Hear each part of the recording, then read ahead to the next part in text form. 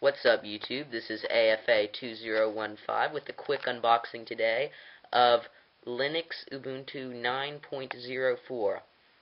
I actually ordered this product from Ubuntu that you can either download the program or uh, request the free CD and I just said hey what the heck I'll go ahead and request the free CD so here it is you guys I'll actually be putting a link in the description over here on the right uh, where you can either go ahead and download uh, Ubuntu or request the free CD.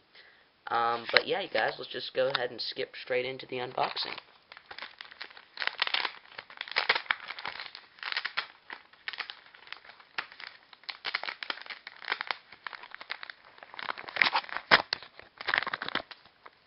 Alright. So here we open the we open the package. We have uh, four Ubuntu stickers. Uh, I don't really think that I'm going to be using these stickers.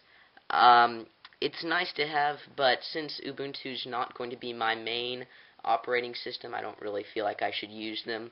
I really just uh, requested this CD so that I could use this to kind of, in a virtual PC, to kind of experiment with some open source programs I was curious about.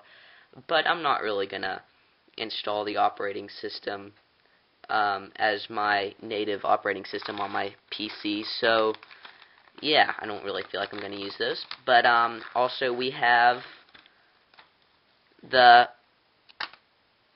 the um, operating system itself. So here we go, you guys. Here it is, Ubuntu 9.04 Desktop Edition. It's nice packaging. It's uh, not very much. There's not very much to it. It's pretty much just the CD, and it has some information that uh, you can read, but everything else is on the website. Uh, one thing that's kind of nice about Ubuntu, as it says here, that it's a small operating system, that it's not going to take up much space on your hard drive, that unlike a Windows Vista that takes up about 8 gigabytes of your hard drive. This only takes up about 2.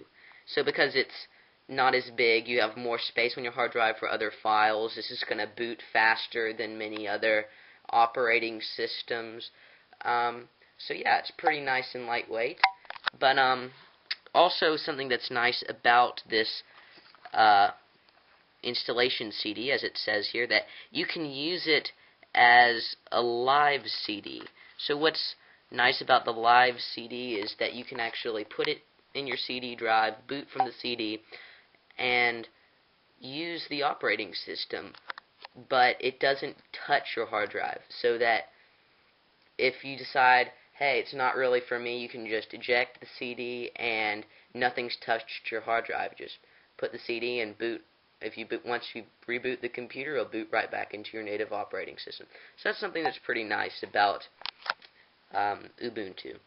But yeah, you guys, that's really all there is to the package. So, um, thanks so much for watching, you guys. If you'd like, you could um, subscribe over here in the sidebar. Uh, see my future videos. Um, but that's really much it. Uh, that's pretty much it. Thanks for watching, you guys, and I hope to see you guys in the future. Alright, bye, you guys.